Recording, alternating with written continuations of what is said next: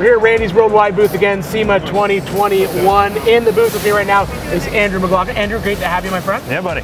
Good yeah. to see you, all the way from Phoenix. Yeah, we came up from Phoenix. Uh, uh, LetzRoll Offroad from Phoenix, Arizona. My name is Andrew McLaughlin. We we do the MIT class, the Master Installer Training Program, which is what we're actually displaying here this year. You got it like set up back there, like teaching gear sets almost, right? We're, we're building diffs back there, left and right. Yeah, we, awesome. we brought up some displays. We got a bunch of different applications. So Yeah.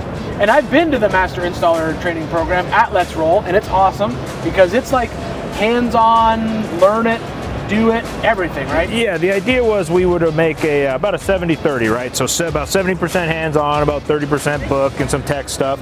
A lot of business talk, a lot of tech talk, um, tips and tricks. It's really neat when you get to meet with uh, all these people around the country and kind of learn where they're coming from and share your experiences and even learn new experiences. But yeah, I mean, it, it is it is hands-on. We have a whole training room. I want to say we have almost a dozen different applications, and we'll even take custom ones. Somebody calls and says, "Hey, you know, I really want to know. I, I specialize in, in in this type of vehicle, and I want to learn this rear end." No problem. We'll bring that rear end in and train them up. Yeah, I think that to me was the coolest thing when we were there because I mean, all the guys there, they're installers and they're most of them weren't green, they'd done it before. And they even had some ideas on different ways to set things up or the ways that they did. I think that's when you get a group of people together that are like-minded and do the same thing, you're always going to learn something cool. Yeah, it's amazing. So, you know, we're obviously teaching by the book, but there's, like every skill trade, there's always a little tip or a trick that you'll pick up. And it's amazing seeing all these people, like I said, coming from all walks of life all around the country working on trucks, cars, um, some bigger, heavy equipment, full size stuff, whatever, off road racing. And um, uh, just watching them learn something. You know, you're, you're working with somebody that maybe has been doing this for 15, 20 years, is like, wow, I've never seen that or I've never done it that way. And uh, I, I, I won't lie, you know, I learn something new every day. I mean, the, the, the, the tools that these guys kind of develop on their own are really neat. And we actually have some over there. I don't know if you saw the uh, third member holders. I did, it's kind of cool. Kind of yeah. evolved from some, you Yeah, know, some I've got one that I built myself, but it only works with a nine inch. Yeah. And then I saw that over there and I'm like, all right, now I need one of these. Exactly. Because this thing is pretty darn cool. Yeah, and that's one of the ideas that just developed out of just you know the little BS around the uh, around the differential fire. You know Yep, what I mean? Yep. All right, so that's cool. So now the other thing to talk about, obviously, will be racing because that's like where you get to spend your free time, Yep. what you have. Yep. So what's what's on tap for next year, Ultra Four wise? So, so we uh, we race an Ultra 4 car, uh, and, the, and primarily, if you haven't heard Ultra 4, that's the King of the Hammers. Most people kind of, you know, they know what King of the Hammers is. They may not know our sanctioning body. Uh, so we're the mixed martial mixed, mixed martial arts of racing, right? So uh, I actually just sold my car this year, kind of unexpectedly. Um, I had it for sale. We didn't know what we were going to do, and then then sure enough, it popped. The uh, even though they've raced it once, I'll let you guys figure it out. But I went back to a straight axle car this year. Yep. So we're in full tear down and prep. I actually I actually bought a car that I've always really kind of had my eye on.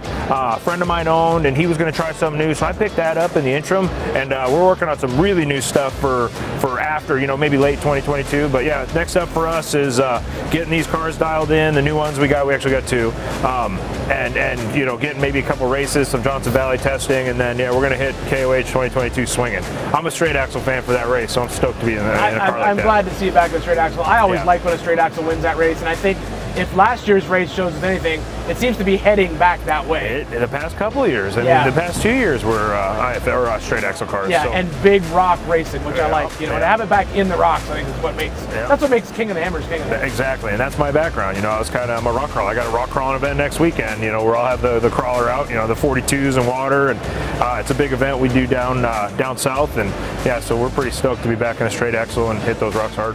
That's awesome. Now let's talk a little bit about LetzRoll. So LetzRoll, premier shop just outside Phoenix. Anyone who asks me where to get work done in the Phoenix area, I always send them to Andrew because I know what he does is top notch. And so, but you guys don't just build race cars there, right? This is it's everything and anything, right? Yeah, yeah. So we do. You know, I started this shop 13 years ago out of my garage as a, as a hobby, right? I mean, I know, I know a lot of people can say that.